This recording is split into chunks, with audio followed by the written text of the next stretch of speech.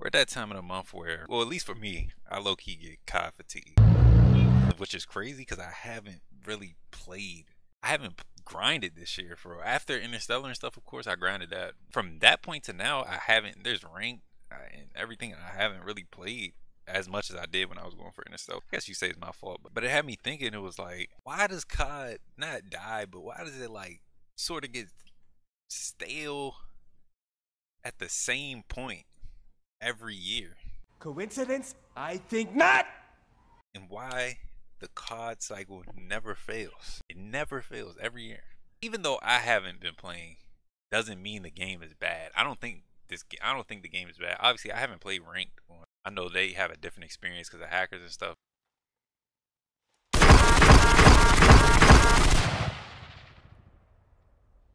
These cheats busting. But in my experience, the game's not bad. It's fun.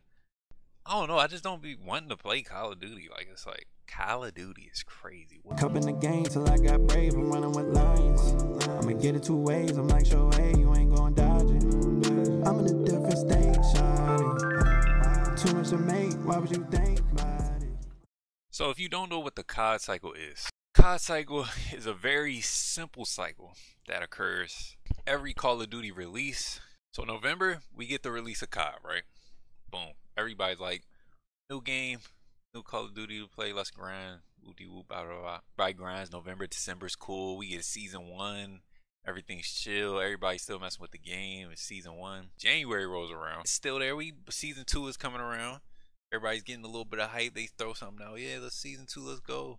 February comes, which we're in now. February, March comes, and it's like this game is trash. So then, after everyone starts to sort of hate the game, March rolls around. The next phase, which is oh, Modern Warfare 2 is better than this, and then May, we get the trailer. May, June-ish, we get the trailer and the beta release date. We play the beta. Oh, this COD's about to be the next one. This COD's about to be OC. We get right back to November, and it sort of repeats itself every single year.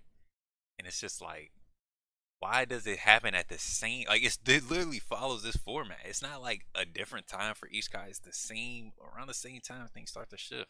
So charlie intel put out this graph and this low-key what made me think about it too because as of right in january call of duty was the modern warfare 3 was the highest selling game everything all platforms combined. And obviously it's not really too much to compete right now. I mean tekken just came out recently and suicide squad are the only two and i know people been playing heavy. Helldivers is gotten some boom, but that's only on PlayStation and PC, I'm pretty sure. So games that are across all platforms, Call of Duty, of course, is number one right now. I was like, dang, that's pretty crazy. We've been trying to say the game's dying, player counts down, and all that, but that's just not true. So this is what I was. This is what interested me a little bit. COD HQ is ranked second, right? But COD HQ has Warzone, MW2, and Modern Warfare 3. They put all that under the COD HQ name.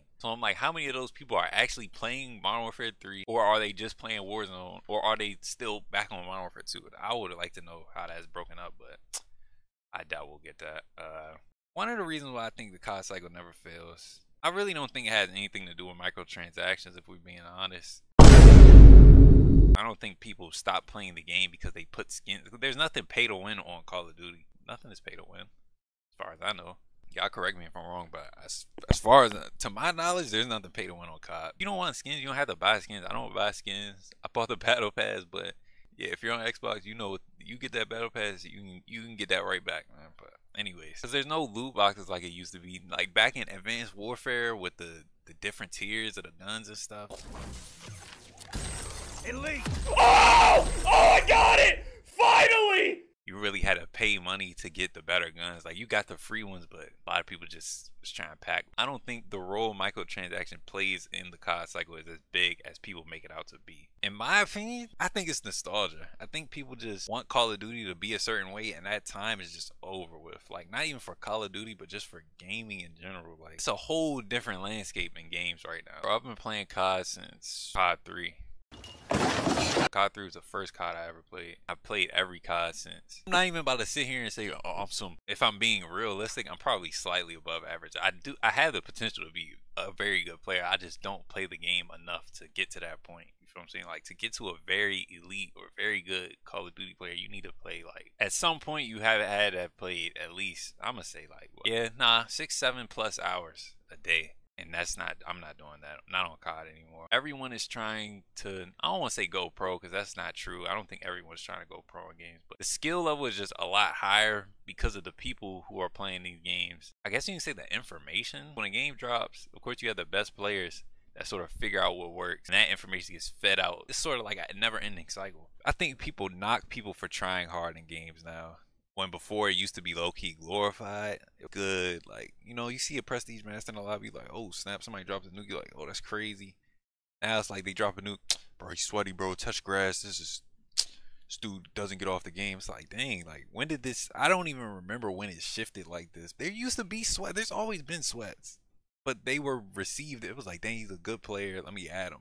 Dudes can't enjoy the game anymore. It's like y'all want every game to be casual, low key, and it's like that's just not the case. People aren't gonna get on a game and not try to win. That doesn't make sense. It's, you're not as good as them, so you want them to not try, so you don't feel like you're bad at the game. That doesn't. That makes zero sense, bro. You're losing is cool. Quit the game, bro. Go on about your day. But they now it's like they lose their sweat. He's hacking, proneness, everything goes down the list except for he was better than me. It's that simple. Sometimes it's that simple. They were better than me. Now it's like, nah, something's got. There's no way I'm this bad. It's got to be a reason why they were they were beating me so much in this in this match. So I want to talk about leaks because I feel like this is a big part as to why the COD cycle never fails too. We get information on the new Call of Duty a lot faster than we used to. It feels like. Of course, this is with social media and stuff now. Before, like you would get rumors and stuff, but no one really ever knew. The May June area is like, all right, this is the next COD. Let's drop the trailer. And now it's like we already know what the next two CODs are. The next one is go what the Gulf War, and then a sequel to Black Ops 2 directly after that. This Call of Duty is only in its third season. We already know the next two CODs. That's crazy. To me, I don't. Some people might not see it that way, but I think that's crazy. How do I already know what my next two Call of Duties are? I know the Call of Duty for this year and Call of Duty 2025 and this COD's life cycle hasn't even ended yet. It barely, it just got to the halfway point. People that sort of have a bias towards Treyarch over Sledgehammer Activision, you know what I'm saying? They're like, they see another, like, oh, we're getting zombies. Oh, this is Black Ops. Black Ops is never bad. And it's like now they're already they're already focused on the next Call of Duty instead of just playing and seeing if the game they have in from they really like or not. Then let Gulf War come out and it's not what we think it is, right? A few months in, then it's going to be, well, the next one is a Black Ops 2 sequel, so it's got to be good. And then it just restarts over and over and over and over and over and over and over again.